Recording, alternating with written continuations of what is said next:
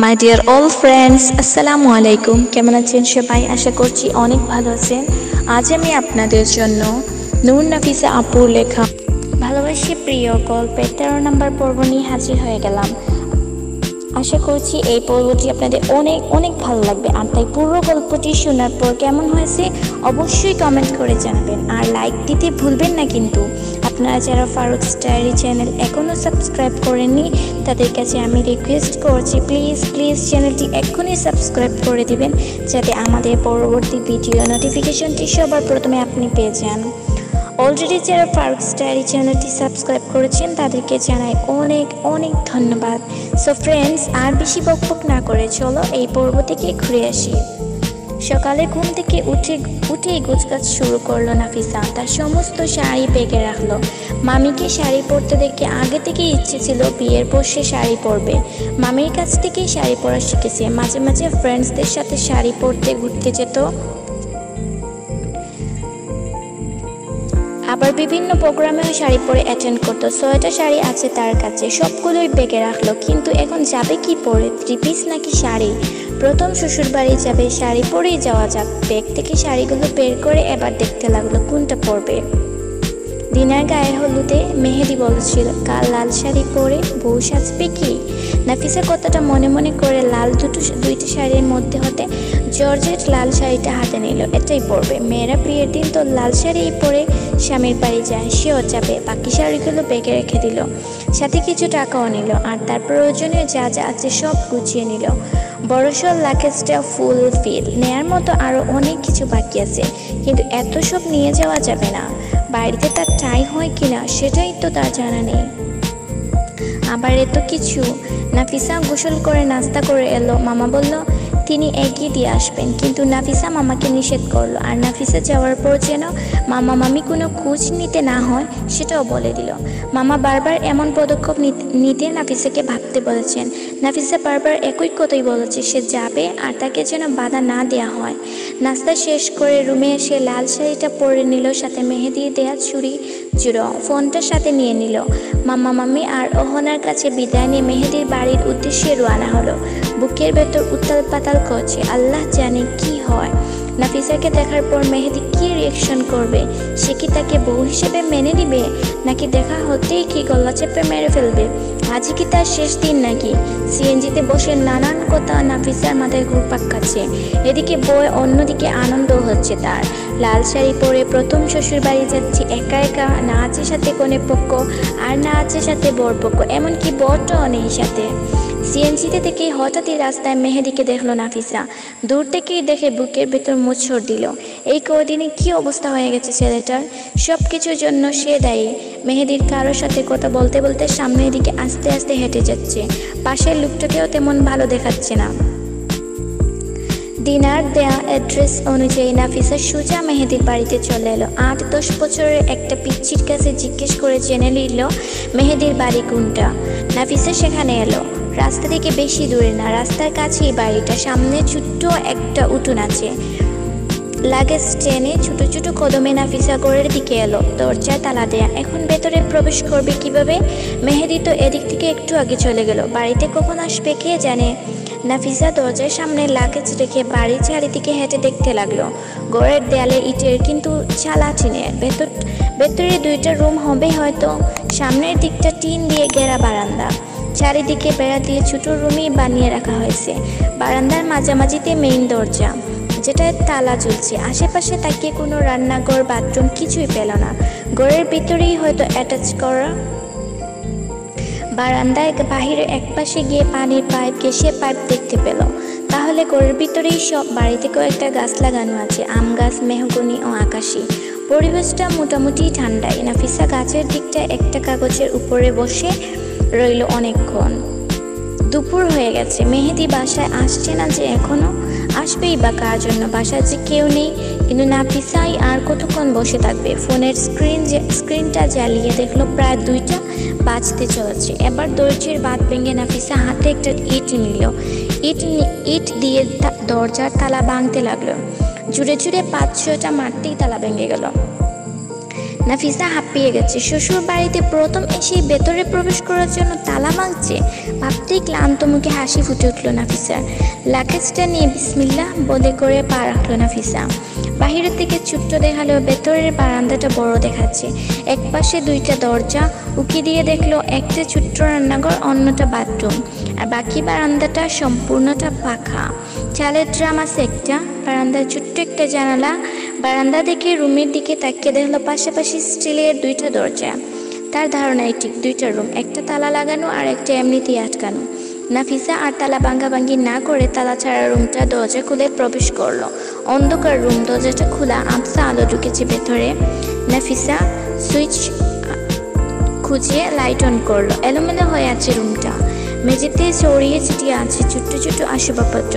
কাপড় চোপড় এখানে সেখানে ছিটিয়ে ছিটিয়ে আছে।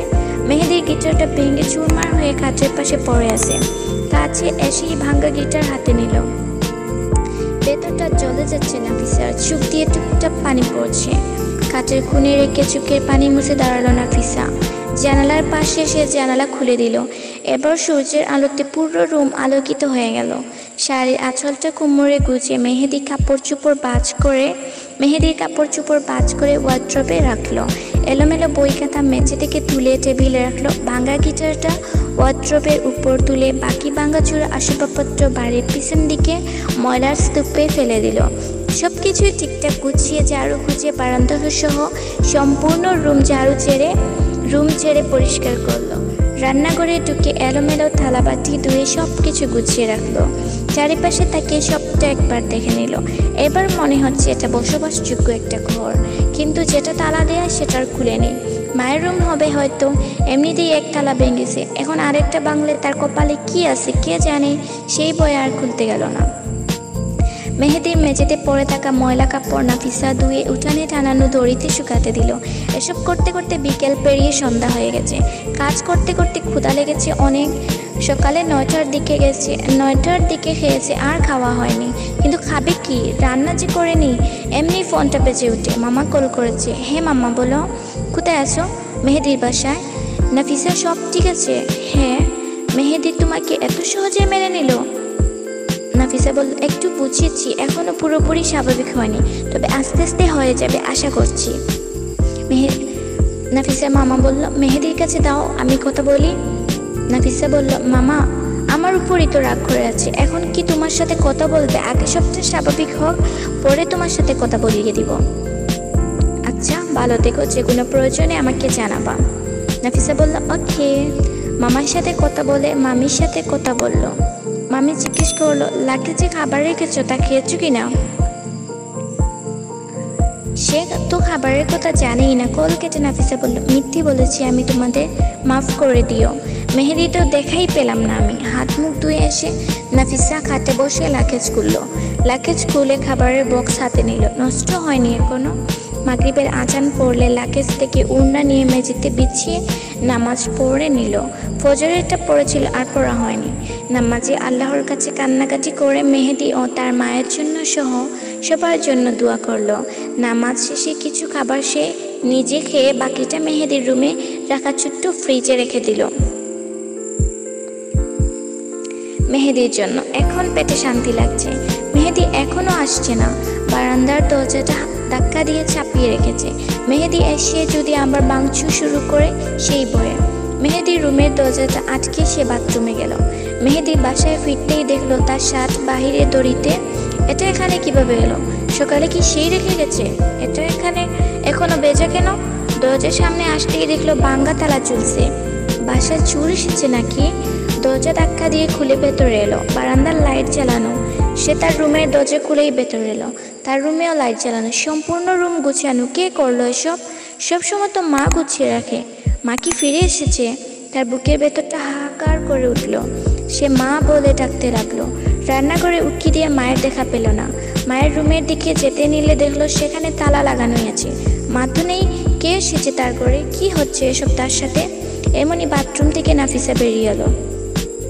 মেহেদি তাকে দেখে থমকে দাঁড়াল। নাফিসা এক দৃষ্টিতে তাকিয়ে আছে। এবার খুব কাছ থেকে দেখছি ছেলেটার অবস্থা। চুকে অশ্রু বেয়ে জমাতে শুরু করেছে। এ কি সেই মেহেদি? সে তো খুব স্মার্ট ছিল, দেখতে খুব সুন্দর ছিল। আজ তার এই অবস্থা কে করে ফেলছে? তুই? তুই এখানে? নাফিসা চোখের পানি মুছে কোমর থেকে আঁচলটা খুলে মেহেদির রুমে প্রবেশ করতে করতে বলল, কেন? অন্য কারও আসার কথা ছিল নাকি? নাফিসার কথা বলে রুমে এসে জানালা বন্ধ করতে লাগল।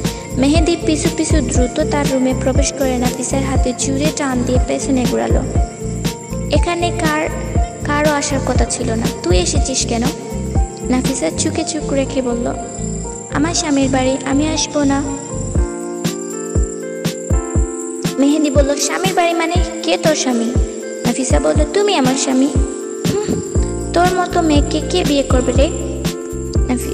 মেহেদি বল নাফিসা বলল, আর কাউকে করতে হবে না। মেহেদি নামের ছেলেটাই তো আমাকে আগেই বিয়ে করে বউ বানিয়ে ফেলেছে। মেহেদি বলল, কিসের বউ? ওটা বিয়ে ছিল না, ওটা জুলুম ছিল। আর আজ ওই লোকগুলো তোর সম্পর্কে জানলে হয়তো নিজেদের কপাল চাপড়াতো, যে তোর মতো মেয়েকে তারা জীবিত রেখেছে। এই রিসাদও কি তোকে ত্যাগ করেছে? নাফিসা বলল রিসাদকে তো গ্রহণ করার সুযোগ দেইনি। ত্যাগ করবে কীভাবে? আমি তাকে জানিয়ে দিয়েছি, আমাদের বিয়ে হয়ে গেছে, আর তুমি আমার স্বামী। মেহেদি বলল, দেখ এখন কিন্তু আর আমার কাছে কিছু নেই, যা রিসাদ আর তোর দরকার পড়বে। সব শেষ হয়ে গেছে আমার, সব শেষ। এসব ড্রামা বন্ধ কর আর চুপচাপ বেরিয়ে যা, না হলে আমার হাতে তোর মরণ হতে পারে। নাফিসা বলল, মরণ হলে যে আমি যাচ্ছি না, সব কিছু ছেড়ে আমি তোমার কাছে চলে এসেছি স্ত্রীর অধিকার আদায় করতে। মেহেদি বলল, সর, ছবি না আমাকে এই হাতে। তোর মতো মেয়েকে কোনো পাগল স্ত্রী মানবে না। তুই আমার মায়ের খুনি। আজ আমার মা থাকলে তুই তোর অধিকার পেয়ে যেতি। হঠাৎই নাফিসার গলা চেপে ধরে চেঁচিয়ে বলতে লাগল। নাফিসা বলল, স্ত্রীর মেহেদি বলল, স্ত্রীর অধিকার পেতে চাস, দে, আমার মাকে ফিরিয়ে দে, সব দিব আমি তোকে। নাফিসার ছুটার জন্য ছটফট করছে। একটু পর খুব জোরে ধাক্কা দিয়ে ফেলে দিল নাসিফাকে। নাসিফাকে, নাফিসাকে। এক মিনিট সময় দিলাম, এখান থেকে বের হওয়ার জন্য। অন্তত আমাকে দিয়ে কোনো খুন করাতে বাধ্য করিস না। মেহেদি দরজা দিয়ে বাইরে বেরিয়ে বেরিয়ে গেল। নাফিসা মেঝে থেকে উঠে দাঁড়াল। ওয়ার্ড্রপের কোনায় লেগে কপাল একটু কেটে গেছে। যাওয়ার জন্য আসিনি। খুন হয়ে গেলেও যাব না আমি, মেহেদি। খাটে বসে কপালের রক্ত মুছে নিল। একটু পর বাহিরে থেকে মেহেদি শার্ট আনার জন্য বারান্দা যেতেই মেহেদি দরজা দিয়ে ভেতরে এলো। বারান্দার দরজাটা লাগিয়ে নাফিসার হাত ধরে টেনে তার রুমে নিয়ে এলো।